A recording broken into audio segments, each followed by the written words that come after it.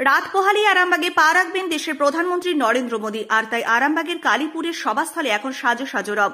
চলছে শেষ মুহূর্তের প্রস্তুতি। চারিদিকে কড়া নিরাপত্তা ব্যবস্থা শুধু সভাস্থল নয়, আরামবাগ শহর ও তার আশেপাশের এলাকাতে কঠোর নিরাপত্তা ব্যবস্থা করা হয়েছে।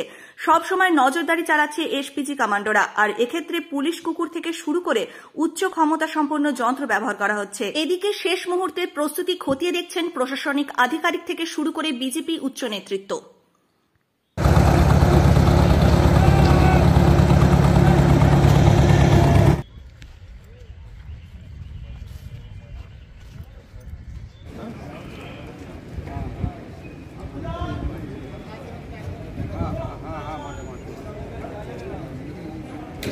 হ্যাঁ,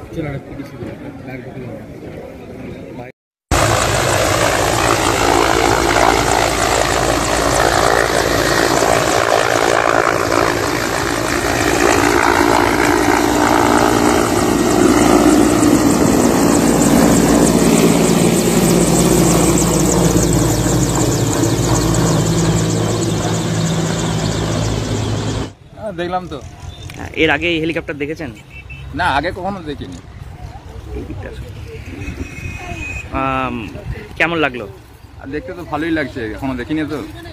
নেমেছিল তো একবার? হ্যাঁ এই নেমেছিল এই দেখলাম। কাল আসবেন নাকি দেখতে? আশা করছি আসব আবার দেখব। প্রধানমন্ত্রীকে দেখার ইচ্ছা কতটা? হ্যাঁ প্রধানমন্ত্রীকে দেখাতে আগ্রহ খুবই। এটা মানে কি বলব আমাদের ভারতবর্ষের প্রধানমন্ত্রী মানে দেখার খুবই একটা মানে সৌভাগ্য মনে করি যেখানে আসছেন আমাদের আরামবাগে। এটা খুবই আমার আমাদের এখানে তরফ থেকে বা আমার তরফ থেকে নিয়ে বলব ব্যক্তিগত হিসেবে বলব যে খুবই আমাদের সৌভাগ্য বলেই হয়তো দেখতে পাবো। তবে জানি না হয়তো ভিড়ের মধ্যে দেখতে পাবো কি না। মানে খুব আশায় আছেন হ্যাঁ, এমনটাই মনে হয়, যে- আশায় আছেন। হ্যাঁ খুব আশায় আছি যে প্রধানমন্ত্রী আমাদের প্রধানমন্ত্রীকে দেখব। এই যে বা, এটা এই- হেলিকপ্টার এটা দেখেছেন? এটা বায়ুসেনার হেলিকপ্টার অন্য টাইপের হেলিকপ্টার। কি কি মানে দেখলেন এখানে? মানে কি কি দেখলেন হেলিকপ্টারটার মধ্যে? এটা হেলিকপ্টার মধ্যে যেরকম দেখি যে দূর থেকে তো উপরে যে যা দেখেছি আর এখন তো দেখলাম দুটো পাকা আর এটা বায়ুসেনা হয়তো এটা ইয়ে রয়েছে। হ্যাঁ এটা কতগুলো লোক আছে সেটা দেখি না দুজন নামতে দেখলাম এটাই।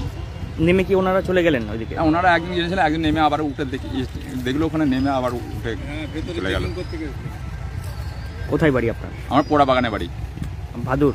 হ্যাঁ ভাদুর পোড়া বাগান কি নাম আপনার? আমার অরূপ সাঁতরা এই প্রথম ভারতবর্ষের কোনো প্রধানমন্ত্রী তিনি আরামবাগ আরামবাগের পুণ্যভূমিতে আরামবাগ পৌরসভার মাঠে এই প্রথম একজন ভারতবর্ষের প্রধানমন্ত্রী আসছেন।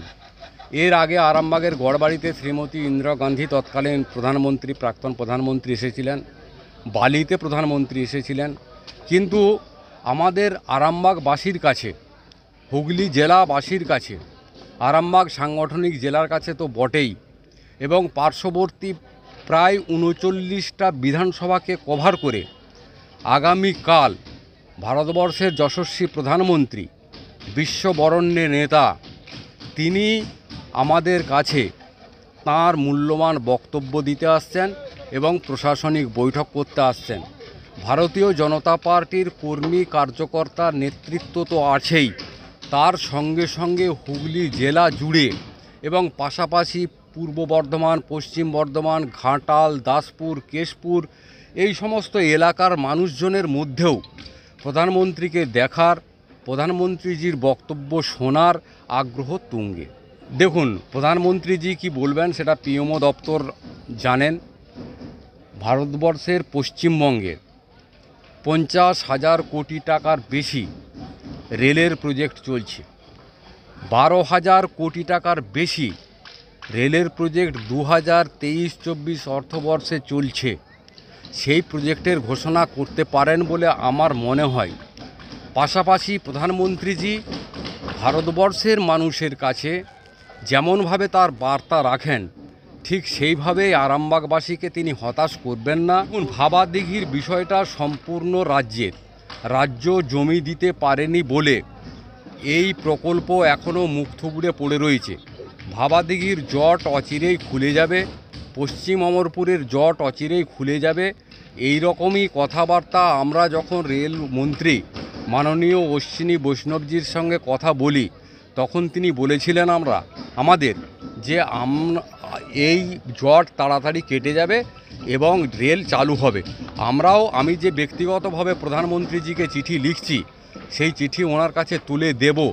তাতেও এই বিষয়টা থাকছে যে তারকেশ্বর, বিষ্ণুপুর ডবল লাইন এবং যে জমিজটের জন্য আটকে রয়েছে এই প্রজেক্টটা সেই প্রজেক্ট প্রজেক্টের কীভাবে দ্রুত সমস্যার সমাধান করা যায়, সে বিষয়টা প্রধানমন্ত্রীজির নজরে আনব। তাছাড়া প্রধানমন্ত্রীজিকে বলব যে আইআইটি আরামবাগের বুকে স্থাপিত হোক, নিট আরামবাগের মুখে স্থাপিত হোক, যেমন দুর্গাপুরে এনআইটি আছে, সেরকম স্থাপিত হোক, খানাকুলের বুকে যে সেতু সমস্যা, আপনার লোকসভা গঠন হয়েছে উনিশশো সাতষট্টি খ্রিস্টাব্দে, তারপর থেকে বহু নির্বাচন হয়েছে, বহু সাংসদ আরামবাগ উপহার দিয়েছে, কিন্তু আরামবাগের মানুষ খানাকুলের মানুষ সেই অর্থে বঞ্চিত। কারণ খানাকুলের যে ব্রিজের দরকার, সেই ব্রিজের প্রতি কোনো সাংসদ দৃষ্টি দেননি। সেই বিষয়টাও আমরা আমাদের চিঠির মাধ্যমে মাননীয় প্রধানমন্ত্রীজির দৃষ্টি আকর্ষণ করব। আমরা ঘাটাল মাস্টার প্ল্যানের বিষয়টাও প্রধানমন্ত্রীজির দৃষ্টি আকর্ষণ করব। শেষ পর্যায়ের প্রস্তুতি। আজকে বিকেলে মাননীয় রাজ্য সভাপতি, মাননীয় বিরোধী দলনেতা সুকান্ত দাস, শুভেন্দু দাস সহ আমাদের এই প্রদেশের ইনচার্জ মাননীয় মঙ্গলজি সবাই বিকালবেলা এখানে আসবেন পরিদর্শন করার জন্য। আর ঠিক আগামীকাল দুপুর দুটো পঁয়তাল্লিশ মিনিটে সেই প্রতীক্ষার অবসান হবে আমাদের দেশের প্রধানমন্ত্রী, বিশ্ববরেণ্য নেতা মোদিজি।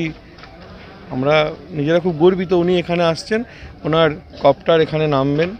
তারপর উনি প্রথমে সরকারি একটা অনুষ্ঠানে যোগ দেবেন সেখানে বেশ কিছু ইনোগ্রেশন আছে ইন্ডিয়ান ইন্ডিয়ান অয়েল এবং ইন্ডিয়ান রেলওয়ে তা- তারপরে উনি পাবলিক মিটিংয়ে এসে সম্বোধন করবেন। প্রধানমন্ত্রীকে দেখার যে আবেগ আরামবাগবাসী কীভাবে মানুষজনকে আটকাবে সবাই তো আসার চেষ্টা করছে প্রধানমন্ত্রীকে দেখবে সবাই দেখবে স্বাভাবিক না?